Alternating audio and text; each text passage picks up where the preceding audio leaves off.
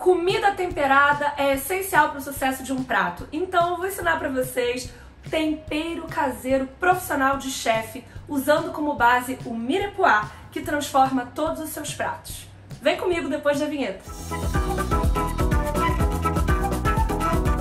Mirepoix é um tipo de corte na França, mas é também a união de três alimentos perfeitos para o seu refogado: a cenoura, a cebola e o aipo. Por isso que ele é tão diferente do seu refogado da sua casa. Agora, olha só, tem outra dica também muito importante. A gente não usa cheiro verde, que é super tradicional no refogado brasileiro. Isso porque, gente, a cebolinha, a salsinha, enfim, elas tendem sempre a amargar quando elas entram em contato com a comida muito quente. Por isso, toda vez que você for usar o seu cheiro verde na sua comida, coloca na finalização para trazer aquele frescor e aquele aroma maravilhoso.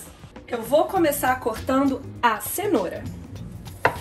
Pode cortar grosseiramente e colocar direto no seu processador. Na sequência, o aipo. Sempre um talo pequeno de aipo para cada cebola que a gente usar. A cebola descascada, a gente também, ó, corta grosseiramente.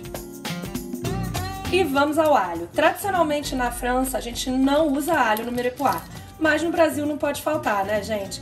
Ele é importantíssimo para trazer uma certa agressividade, um sabor mais intenso, que é super característico na cozinha brasileira. Aqui eu tenho seis dentes de alho e é mais ou menos essa quantidade que a gente vai usar sempre. Claro, você pode usar o quanto você quiser na sua casa. E vamos aos temperos. Manjericão, que sim, traz uma quantidade de umami para essa receita inacreditável. Folha de louro e tomilho fresco.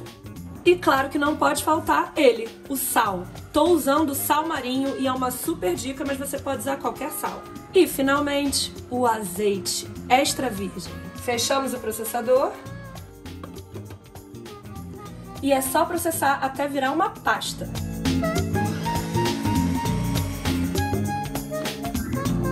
Essa é a textura que eu gosto, você ainda consegue ver pedacinhos da cenoura e pedacinhos do aipo e do tempero. Não gosto quando fica parecendo uma papinha, tá? Eu gosto de alguma textura.